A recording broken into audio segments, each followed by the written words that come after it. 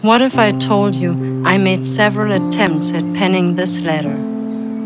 Heap of torn and crumpled sheets, ruled paper lines matching frowning foreheads' creases.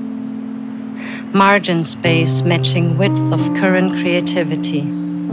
Pen scratching paper, finger scratching nose, words only scratching surface. What would you say?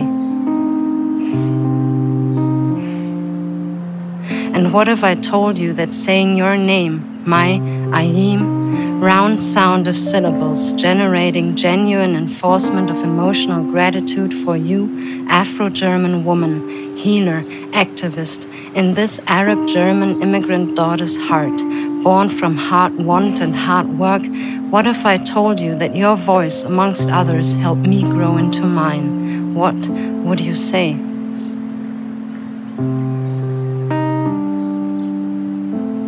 What if I told you that the river, same river you saw transition from natural border matching factual wall guarded by actual soldiers back into simply a river, that part of this river's banks bears your name today? What would you say? What if I told you it's the same part previously proclaimed colonial perpetrator's name to post war, post annexation population, part of which still properly steeped in proper denial? What would you say?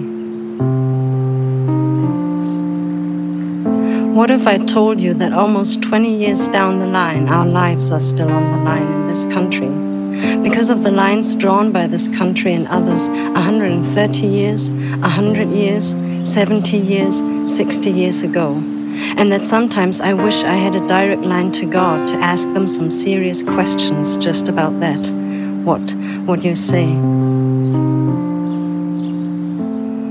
What if I told you that as I pass your river's bank today, the wind whispers of things to come, carrying the screams of a group of refugees shouting from the rooftop their fight for basic human rights and dignity, facing off one and a half thousand cops who not only wave cuffs but bananas?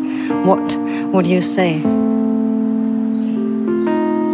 What if I told you that despite appearance, this is a letter of a hope sincere that we as persons, peoples, persevere and prosper as we've always done in the face of it all?